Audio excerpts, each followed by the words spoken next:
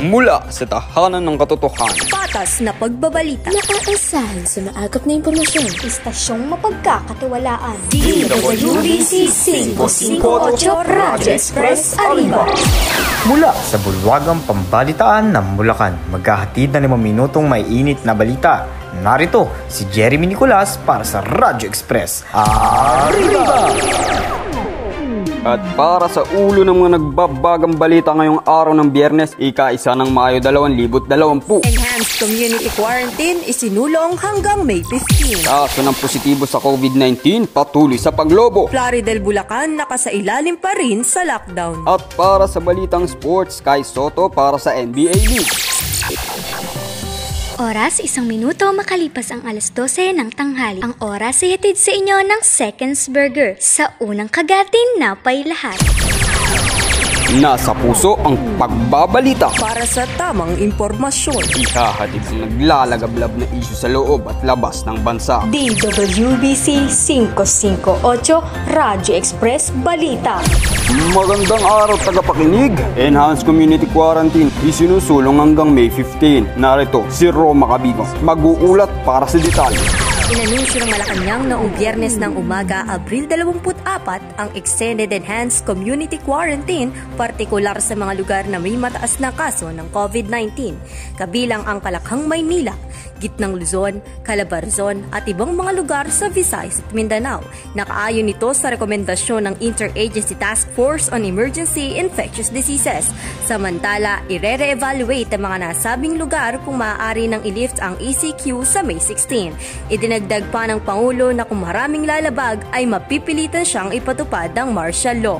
Roma Kabingaw nag-uulat para sa Radyo Express, Arriba.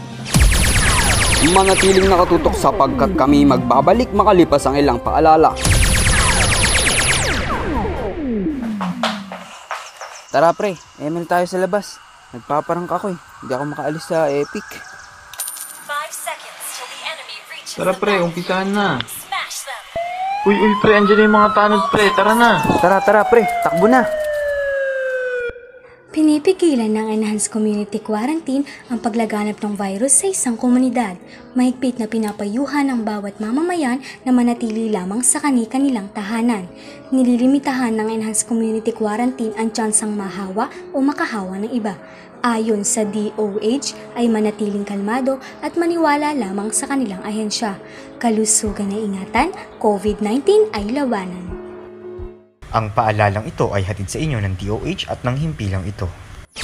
Patuloy kayong nakikinig sa DWBC 558 Radio Express Arriba. Kaso ng positibo sa COVID-19 patuloy sa paglobo. Sa kasalukuyan, tinatayang may 254 na bagong kaso ng COVID-19. Sa kabuuan ay meron ng 8,212 na kaso sa ating bansa. 1,203 na ang gumaling at nasa 558 na ang nasawi. Kaugnay nito ang paghahanda sa pagpapatupad ng General Community Quarantine pagkatapos ng ECQ, kung saan ang mga nasa edad 21 to 59 na lamang ang papayagang lumabas kahit walang quarantine pass upang makabili ng kani-kanilang pangangailangan. Jeremy Nicolas, nag-uulat para sa Radio Express Balita. Oras, tatlong minuto makalipas ang alas 12 ng tanghali. Ang oras ay hitid sa inyo ng Ribisco. Laging may pasobra dahil special ka. Kami nagbabalik para sa Balitang Probinsya. Plaridel Bulacan nakasailalim pa rin sa lockdown. Balitang hatid ni Jeremy Probida. Natapos yung misyon ni Pangulong Duterte ang ECQ sa piling mga lalawigan kabilang na Bulacan na natiling mahigpit ang bawat barangay sa bayan ng Plaridel. Wala mang kumpirmadong kaso, may naitala namang labing isang suspect at labing apat na probable case sa kanilang bayan. Samantala, natanggap na ng piling pamilyang Plaridelenyo ang ayudang nakakahalaga ng 6,500 na mula sa hinapong pondo na inilaan ng gobyerno para sa pandemikong ito. Pahayag niya isang tao na aming na-interview, malaking tulong na daw ito para sa kanilang mga pamilya, lalo na sa mga katulad nilang no work no pay na manggagawa. Jory Provida, nag-uulat para sa Radio Express, Arriba. At para naman sa Balitang Sports, kay Soto, road to NBA na nga ba? Ang detalye niyan ihatid ni Giovanni Probida. Isang labing pitong taong gulang ang usap-usapan ngayon sa larangan ng basketball. Paano ba naman kasi? Sa murang edad ay mahigit pitong talampakan na. Yan ay walang iba kundi si Kai Soto, anak ng dating PBA star na si Irvin Soto. Siya ay panglabing isa sa overall centre prospect sa NBA draft sa susunod na taon. Kamakailan lang ay inanunsyo ni Soto na tutulak daw siya sa Amerika para sumabak sa matinding ensayo. Dagdag pa nito, pinag-iisipan niya kung sa Europa siya maglalaro matapos makatanggap ng alok. Giovanni Provida para sa Radyo Express. Arriba!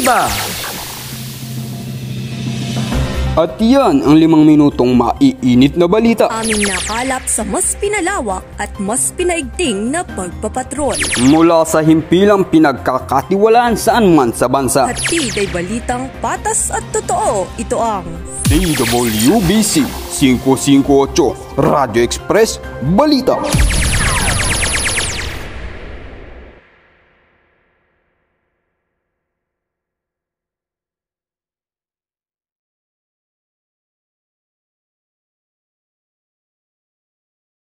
I'm a savage, yeah. Classy, bougie,